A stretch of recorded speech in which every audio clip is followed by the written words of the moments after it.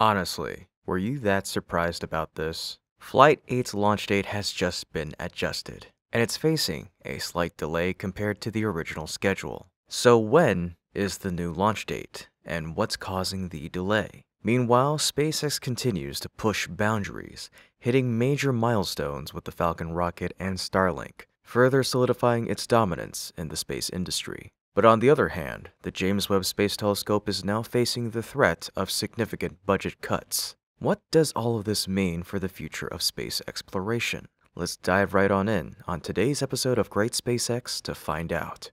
Just a few days ago, no one could have imagined that Flight 8 was so close, and now the anticipation surrounding its launch is at an all time high. The most recent update, especially from the FAA, had initially set February 26th as the primary launch date. While there were backup dates in place, many had pinned their hopes on a Wednesday afternoon launch. However, a slight delay means we'll have to wait just a little longer. According to an update from SpaceX CEO Elon Musk, the flight is now scheduled for Friday, the 28th, which falls within the previously announced backup window just two days later than originally planned. The FAA's previous NOTAM indicated a launch window beginning at 5:30 p.m. Central, and it's likely that this new date will not affect that timing. This means that the carefully planned observation conditions will remain unchanged, giving us the best possible view of both stages as they attempt their respective landings. So, why was the launch pushed back by two days?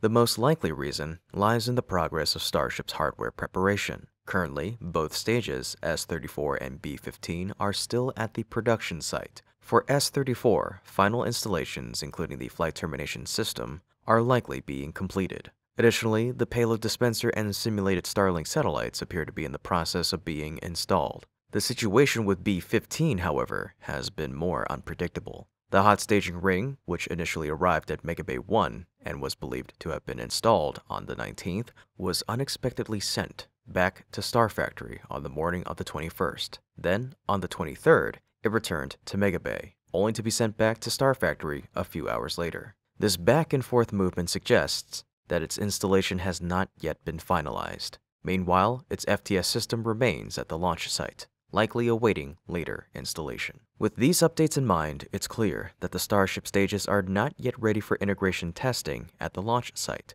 After this testing phase, additional checks will need to be conducted before the vehicle can be cleared for launch. Given these outstanding tasks, the short delay seems necessary to give SpaceX enough time to complete all required preparations. While work continues on S-34 and B-15, SpaceX has been making significant progress on other systems. The launch infrastructure is undergoing constant testing, with the chopsticks mechanism being put through rigorous lifting, lowering, opening, and closing tests to ensure it's fully operational. Additional cladding has been installed and pumps for the tank farm system are being brought in to strengthen the fuel loading infrastructure. Every indication points to a steady march toward launch readiness. Outside of SpaceX, other agencies are also making their final preparations. Cameron County has issued road closure notices for flight activity on the 28th, aligning with the new launch date. Additional NOTAMs have been released, detailing the designated landing zone for ship in the Indian Ocean,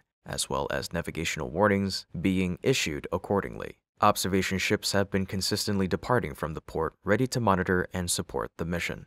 Despite the slight delay, the excitement surrounding this launch remains as strong as ever, and it's thrilling to see it taking place on the final day of February. This determination from SpaceX signals an ambitious year ahead, filled with rapid fire launches and continued progress. If Flight 8 lifts off on the 28th, it'll mark a turnaround of just 43 days since Flight 7, demonstrating an impressive increase in launch frequency. The delay may be disappointing for some, but the wait will be worth it. The pieces are coming together, and SpaceX is inching closer to another milestone in its ambitious Starship program. So, if you're still eagerly anticipating this launch, let me know by responding, I'm still waiting. And while you're at it, like this video and subscribe to our channel to stay up to date with SpaceX's journey toward revolutionizing spaceflight. With the latest updates on Starship wrapped up, let's shift our focus to to the impressive milestones achieved by SpaceX's other systems, Falcon 9 and Starlink. On February 21st, SpaceX reached another significant achievement with the Falcon rocket. At precisely 10:19 a.m. Eastern, a Falcon 9 launched from SLC-40, carrying another batch of satellites into orbit. But the real highlight of this mission was its booster, B-1076, which successfully completed its 21st landing. This marked the 99th successful touchdown on the A Shortfall of Gravitas drone ship and brought SpaceX's total booster landings to an astounding 411. However, the biggest milestone of the day wasn't just about one booster. It was about the entire Falcon fleet. This mission officially marked the 450th flight of the Falcon rocket family, which includes 439 Falcon 9 launches and 11 Falcon Heavy launches. This moment was met with enthusiasm across the space community. SpaceX celebrated the occasion on X with a simple yet powerful statement. Falcon completes its 450th mission. Meanwhile, Musk emphasized the achievement with his own post 450 Falcon flights. This milestone is yet another testament to Falcon's dominance in the industry. SpaceX continues to set the standard, pushing far ahead of its competitors, including China, which ranks second in total launches. Thanks to its high frequency launch capability, the Falcon rocket family has established a reliable, cost effective launch system that maintains an unmatched level of flexibility. With competitive pricing and an unparalleled launch cadence, SpaceX has created an enormous gap between its technology and that of other launch providers and they're just getting started. SpaceX has set an ambitious goal of completing 180 Falcon flights this year. If they stay on track, the company could soon reach 500 or even 600 total Falcon launches, solidifying its place in history. The pace of launches also contributes to increasing records in booster reuse, further proving the cost effectiveness and sustainability of the Falcon fleet. One of the biggest beneficiaries of Falcon 9's continued success is, of course, Starlink. The majority of Falcon launches are dedicated to deploying these satellites, expanding the reach and capability of SpaceX's satellite internet network. Just one day after Falcon's 450th mission, SpaceX launched yet another batch of Starlink satellites. At 8:38 p.m. Eastern on the 22nd, a Falcon 9 lifted off from SLC-4E in California. This mission's booster, B-1082, successfully completed its 11th landing,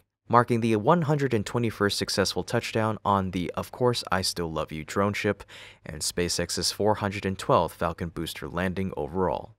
This launch brought another 22 Starlink satellites into orbit, pushing SpaceX past yet another milestone. Over 8,000 Starlink satellites launched to date. While some satellites have been deorbited or failed, the number of active satellites in orbit is now well over 7,000. And with the company's rapid launch schedule, it won't be long before Starlink reaches the milestone of 8,000 operational satellites in orbit. Starlink is quickly becoming a dominant force in low Earth orbit, revolutionizing global connectivity. It provides high speed, low latency internet access to customers worldwide, including remote areas where traditional systems fail to reach. Additionally, Starlink has proven itself invaluable in emergency situations, such as natural disasters and wartime operations. Its effectiveness was demonstrated last year during Hurricanes Milton and Helene, where it played a crucial role in restoring communication for affected regions. Beyond Earth,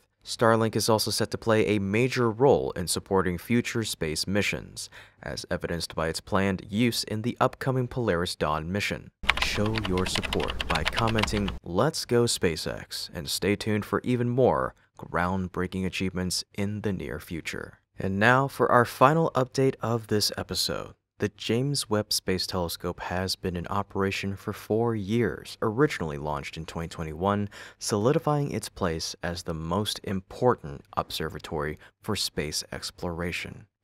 Its innovative discoveries have revolutionized our understanding of the universe, but despite its success, it may now be facing a substantial budget cut, potentially up to 20% of its current funding. This concerning development was recently revealed by the telescope's overseeing team, who stated that NASA has directed them to reduce operational costs, even as demand for observations continues to rise. At the 245th American Astronomical Society meeting in National Harbor, Maryland, Tom Brown, leader of the Webb Mission Office at the Space Telescope Science Institute, addressed these looming financial challenges. He stated, NASA is having budget constraints across the entire board, so the Institute is being asked to consider a significant, about 20%, cut to our operational budget for the mission starting later this year. So the impacts of that, if it comes to pass, pretty much cut across the entire mission. This year, NASA has allocated $317 million for the combined operations of James Webb,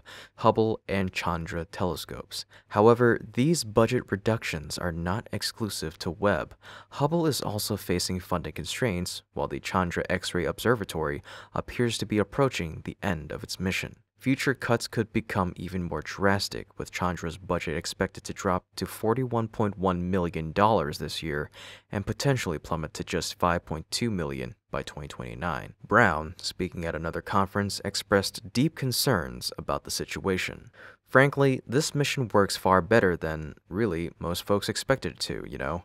It's extremely worrisome that, while we're in the middle of the prime mission, we're also maybe looking at significant budget cuts, he said. He emphasized that this is not a minor reduction, but a severe financial hit that could affect every aspect of Webb's operations, stating, "It's a huge cut. That's not like kind of trying to nibble away at the edges. That's that impacts everything across the board, all the way up to how many modes we're offering to the observers." While cost cutting is often necessary to prevent inefficient spending, reducing funding for James Webb at this stage must be carefully considered. Unlike Hubble, which has been in service for 35 years, Webb is still in its prime, continuously delivering valuable insights into the universe. What are your thoughts on this budget reduction? Do you think these cuts are justified, or should NASA prioritize keeping James Webb fully funded? Let's discuss in the comments. This has been Kevin with Great SpaceX. Don't forget to like the video and subscribe if you haven't already to stay up to date with yours truly in the latest details of SpaceX's progress. Thank you so much for tuning in, and remember, curiosity, imagination, and inspiration will always follow you as long as you keep looking up.